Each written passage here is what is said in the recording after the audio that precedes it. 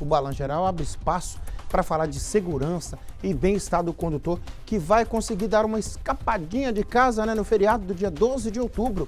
O alerta é quanto à manutenção do veículo. Acompanhe na reportagem de Alessandra Garcia e Hector Nascimento. Está aqui no telão, pode balançar. Feriado prolongado, mais gente na estrada. A manutenção preventiva do veículo é item obrigatório no planejamento de qualquer viagem, seja ela para longe ou perto. Nessa oficina, a procura pelo serviço é maior próxima a feriados prolongados. O dono da mecânica explica que itens como parte elétrica, freios, pneus, motor de um modo geral precisam ser revisados e que a quantidade de quilômetros rodados exige vistorias específicas conforme a orientação de cada fabricante. Porque nós temos vários tipos de revisões, então nós teríamos uma manutenção preventiva e a corretiva. Então sempre seria melhor o cliente procurar pela manutenção preventiva, sempre olhando o manual, o que, que o fabricante especifica que teria que ser olhado a cada quilometragem.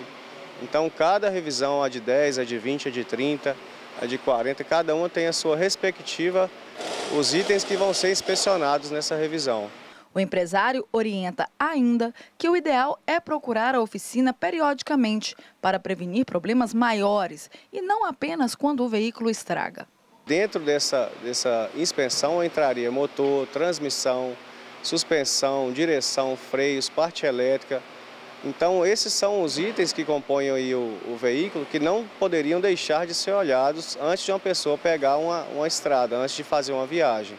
Alinhamento e balanceamento também são serviços essenciais durante a checagem anterior à viagem.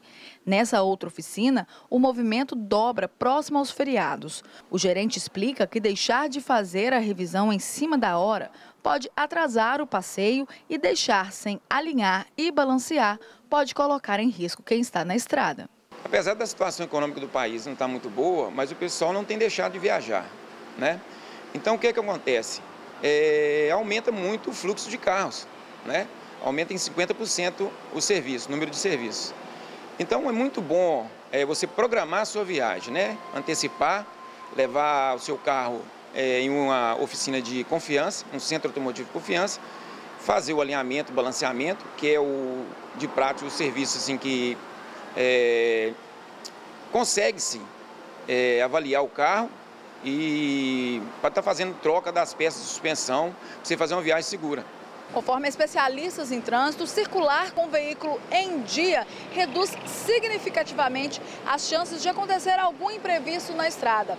Além de segurança para todos, garantir que o veículo esteja em boas condições evita multa e perda de pontos na carteira. Umas férias que era para ser de descanso pode dar uma dor de cabeça, né? É, Haja visto que você vai colocar sua família dentro do carro né, para pegar a estrada. E também é preciso estar tá checando também, além dessa, das peças de suspensão, os freios, os pneus, né? Que é através desse serviço que eu te falei, que, que é o alinhamento e balanceamento, que a gente identifica esses defeitos. Aí é o especialista, esse aí manja. Vai nas dicas que são sempre boas, né?